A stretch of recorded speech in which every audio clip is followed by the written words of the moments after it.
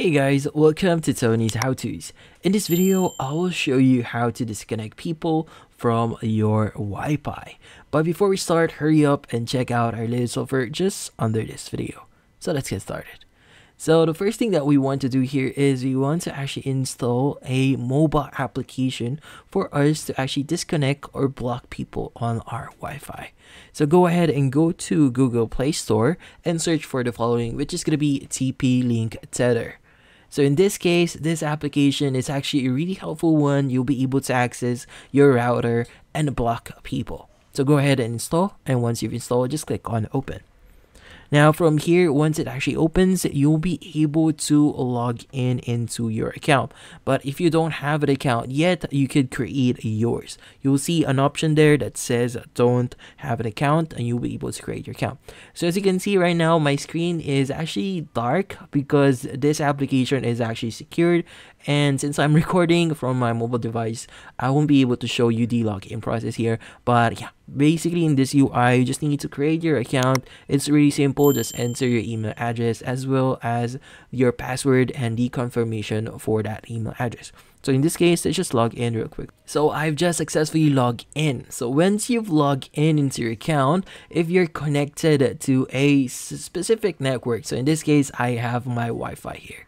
So how do you actually block people? So by default, you'll be able to see your connection here and Wi-Fi. So just click on that insert connection or the Wi-Fi connection. It's going to start logging in into your account or into your device here.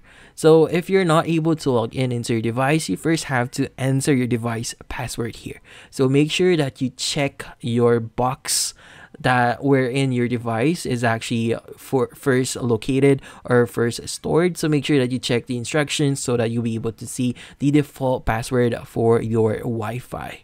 Now once you've entered your wi-fi uh, your wi-fi password you just need to basically click on the clients option that you see at the right side just click on that. And from here you'll be able to see all of the devices that is currently using that network.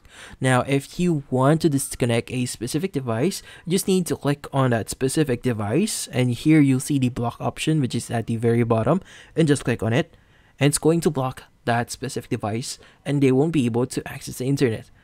And that's how you block people from your Wi-Fi. It's really, really simple. But if you want to unblock them, just click on the show option next to block clients. And from there, you'll see your block device. Just click on that and just click on unblock to unblock them. And that's about it. Also, one more thing. If you're asking what's the Wi-Fi password that I mentioned before, the actual Wi-Fi password is different from the password that I'm actually uh, referring to. So the what the password I'm referring to is the admin password. So this one is different from the actual Wi-Fi password that is for your device. But yeah, and that's about it.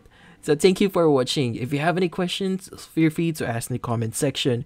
If you enjoyed this video and found it helpful, you could use the link in the description to subscribe. See you in the next video.